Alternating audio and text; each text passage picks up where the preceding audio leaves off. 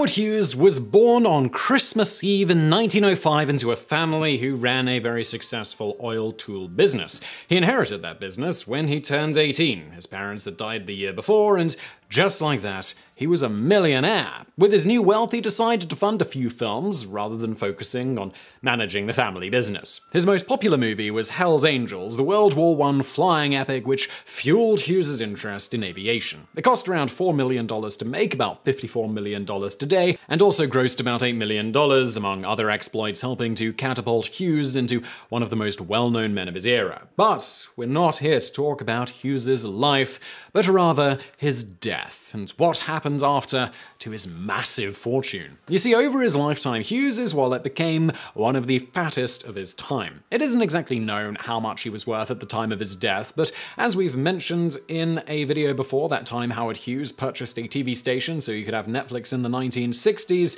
this was a guy who, when the manager of the Desert Inn in Vegas, Moe Dalitz, ordered him to leave the hotel, Hughes responded that it'd do no such thing. And then, in a move straight out of Hollywood, he simply offered to buy the hotel. Ultimately, a price tag of $13 million, about $93 million today, was agreed upon, and, well, he was able to stay. And if you're wondering about the whole 1960s Netflix thing, basically, very briefly, not long after the hotel incident, Hughes decided to buy a channel, 8 KLAS TV, for $3.6 million, about $24 million today, just so he'd have something to watch 24 hours a day if he wanted, as at the time there was no 24 hour TV station in Vegas. The night shows were then just a selection of his favorite movies without any ads. As noted by a former employee of KLAS TV in Howard Hughes' The Las Vegas Years, The Women, the Mormons, the Mafia, my job at the station was to direct the 5, 6, and 11 o'clock news, but I was also in charge of Hughes's films. Each day I would write a synopsis of the shows and movies he wanted to see and send it to him at the penthouse. Sometimes he would change his mind and call the studio, or have an aide call the studio to change the movie we had scheduled to run.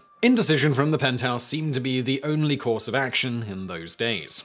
The station in question was able to get around some of the legal issues that can pop up when broadcasting movies they wouldn't otherwise have the rights to because Howard Hughes also owns one of the big five Hollywood studios, RKO Films, that had a very large catalogue of films available. The funny thing about all of this was that Hughes didn't just change the movie schedule before the broadcast as the KLAS TV employee referenced. You see, he would frequently zone out when watching movies, either because he was catching a rare moment of sleep or was distracted by something or maybe just got up to do something else. When this happened, Hughes was known to call up the station and make them play the scene that he'd missed again, sometimes doing this multiple times. Other times, if he got bored with a particular film, it asked them to put on a different movie entirely, even in the middle of another film, basically treating the entire station like a very expensive 1960s version of a personal Netflix account. As you might have guessed from all of this, he was flush with cash, further evidenced by when, 10 years before his death, he was forced to sell his shares in the airline company The payout $546 million, about $3.8 billion today, estimated by some to have been about 25 to 30% of his net worth at the time. Okay, so this all brings us to his death.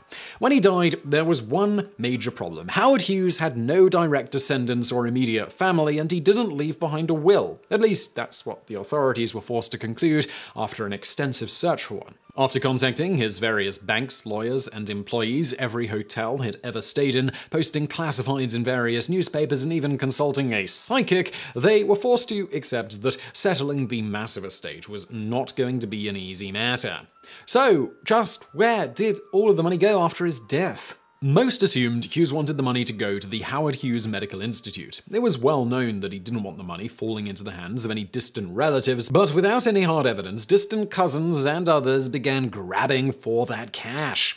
A battle ensued between the temporary administrator of the Hughes estate, cousin and lawyer William Lummis, and those who ran the Medical Institute. It was a multi state war with Nevada, California, and Texas all claiming to be responsible for the distribution of the state, and all of which had their own own laws about inheritance. While the various parties were fighting it out, a couple of different wills surfaced, though eventually they were thrown out as fakes. A notable one was the three page document that declared Melvin Dummar, a gas station attendant, was to inherit 1 16th of Hughes's fortune. Supposedly, Dummar once picked up Hughes off the side of the road and gave him a ride to his hotel, and Hughes was so grateful that he left Dummar a huge chunk of money. In 1978, the will was thrown out as a forgery. Next, various wives started emerging from Hughes's past, taking advantage of his reclusive reputation to explain why no one had heard of them before.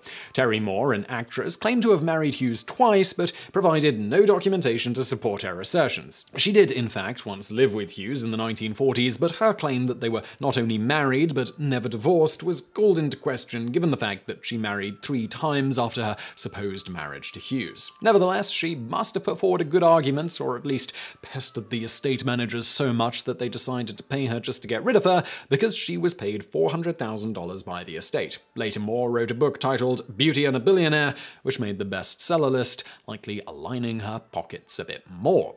In addition to supposed wives, an extraordinary number of Hughes' supposed children decided to acknowledge their deceased father.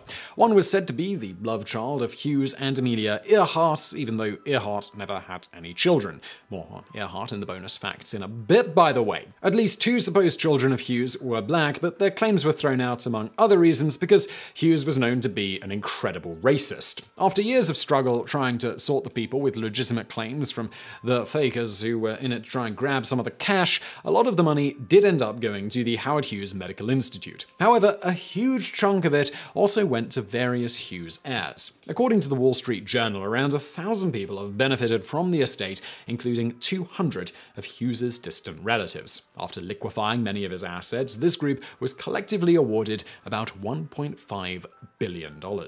Interestingly, the liquidation of the estate wasn't completely finalized until 2010, 34 years after his death. The last piece of the puzzle was the Summerlin residential development. In 1996, Rusco, now General Growth, agreed to buy the Summerlin lands from the Hughes estate on a 14 year repayment plan. With that, finally, the estate of Howard Hughes was laid to rest. And now for a bonus fact.